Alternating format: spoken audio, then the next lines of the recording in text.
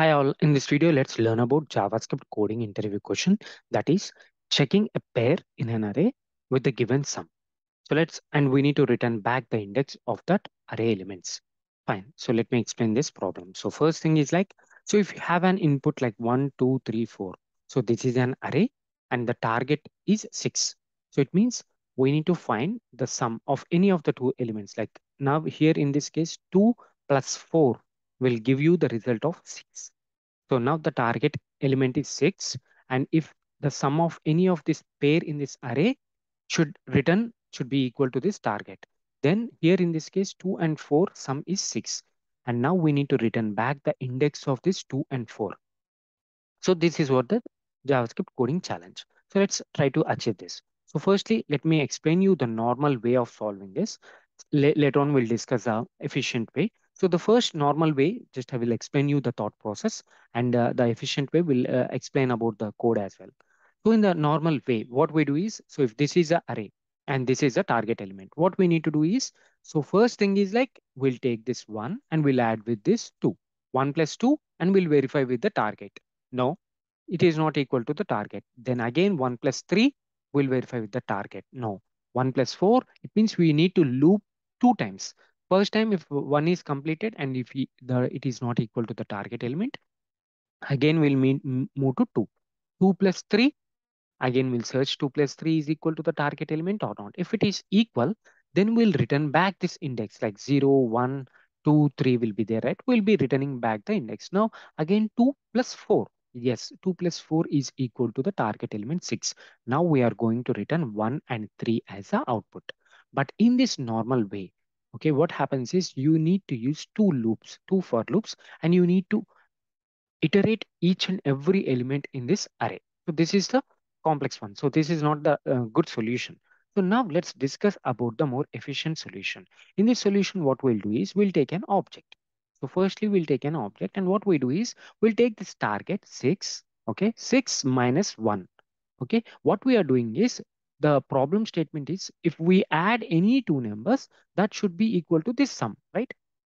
Now, what we are doing is we are iterating only once and we are minusing the numbers like 6 minus 1. Minus 1 means the first element we are looking. And now what is the result? 5. So now what we do is we will search for the 5 in this array. If the 5 is there, then 1 and 5 indexes we need to return back.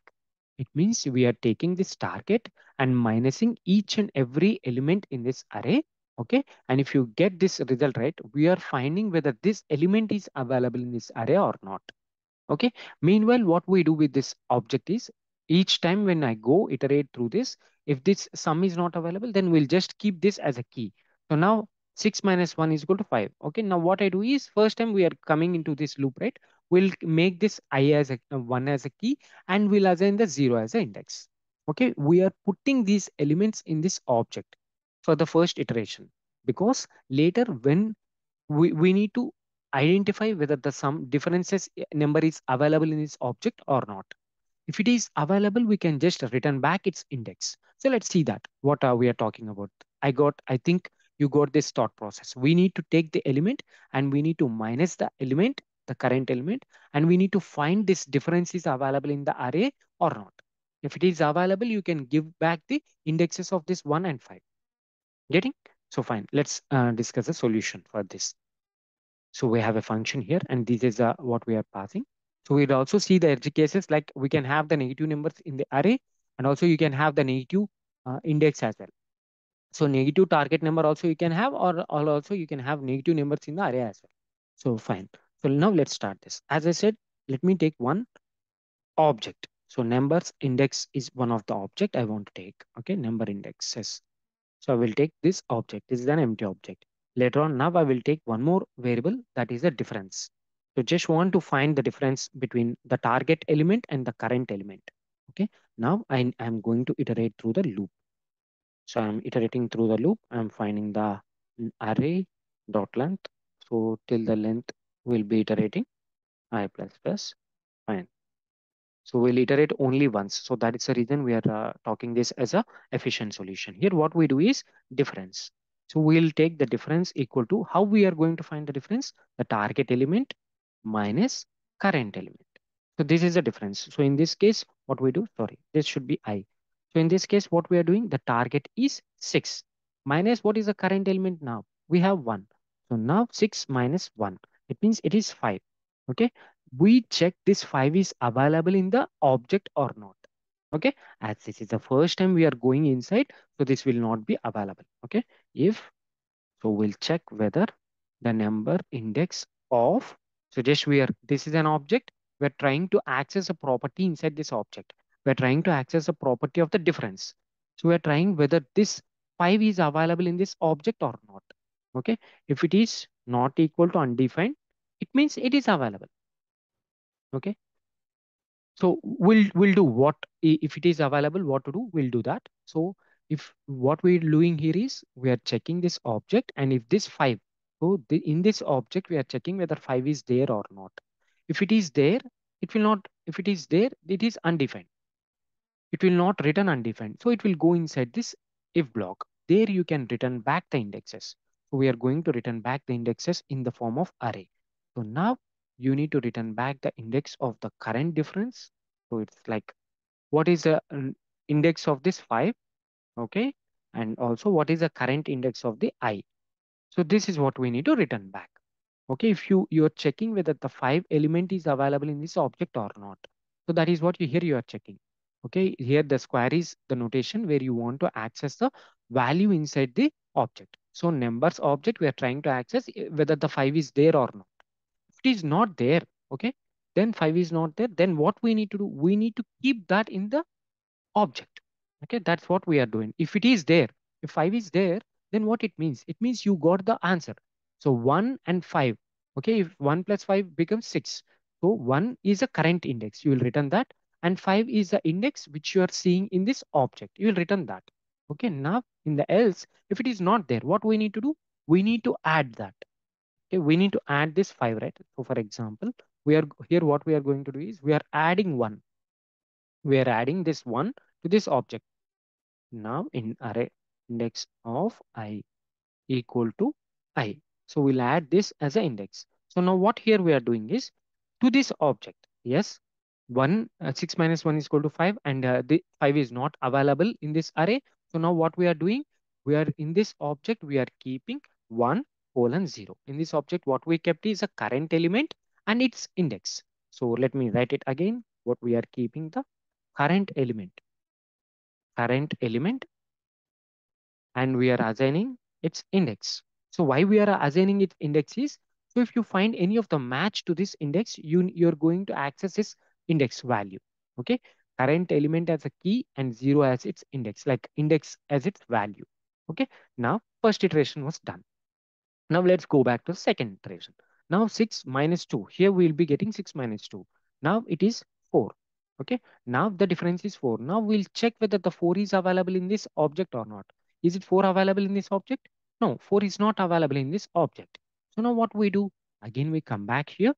We'll keep 2 and we are assigning. So the current element here, we will be getting the current element. It means you are inserting a new key inside this object that is 2 and assigning the current index that is 1. So you'll be having a object like this. You're creating an object like this while you're iterating through the array. Now what we do, again, we'll go back and now this index becomes 3. 6 minus 3, yes, it is 3. Okay, now 6 minus 3 is 3 and yes, 3 is also not available in this object, right? So again, you'll go and again, you'll keep the current element as 3 and it index is 2. Okay, now this is what you have. This is the object you have.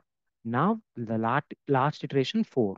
When it comes to the 4, 6 minus 4, you'll be getting 2. Okay, now you are checking whether this 2 is available in this object or not. Okay, that is what this if statement is doing. Is the 2 available in this object? Yes, it is available. 2 is available in this object. So that is the reason it will stop at this if block. And what you're doing is you're returning back this index. So you're accessing the 2. Okay, if you access this 2 key, you'll be getting this value. So here what you are doing, your number index dot differences means you're accessing the key, you'll be getting one here. So what you will be getting if you access that, in this array, the first one you'll be getting one and the current index is three because you are at this position now. So that's the reason you'll be getting as a three. Now you got a solution. So if you add the indexes of one and three, then you'll be getting the target element. See, two and four. If you add six is your target element. So this is what we need to do. So now you can see the output also. We got the output one comma three. Fine. If there is no match, so for example, if I say this as eight, okay, I want to return empty. So instead of undefined, if you want to return empty, so then after the if block, so once the if block was for block was done, then just return an empty array. So if this condition, if this if loop was not right, if the number was not found, it will go back, it will complete this if block and it will go to this return statement. And now you can returning an empty string. If the match was not found, you are returning an empty string. So now let's check this, the same solution for the other inputs. So now here we are taking negative elements in this array. Okay, even if you take negative elements zeros also, it will work. So negative elements in the array and you are passing one. So now we got the indexes. If you add zero index and the fourth index, you'll be getting the target item one. So zero index is six and fourth index is like zero, one, two, three, four, minus five. So 6 minus 5 is 1. So that's the reason you got this index. Sometimes the target element can also be the negative element. So that's the reason it is minus 1. So now 0 and 5.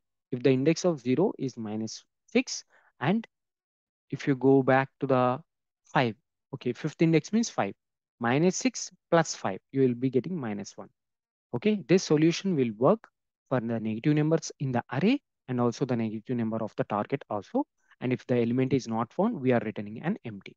So here the only major point is like you are taking an object and you are inserting the current element with its index. Current element with its index. Once if you find the difference in this object, so you are going to return back the indexes of the current element, I mean the difference element and the current element. That would be returned here. Okay, uh, this would be the efficient, more efficient solution than uh, going with the two loops and iterating two times. So hope you understand the solution. So thanks for watching. Please subscribe for more videos.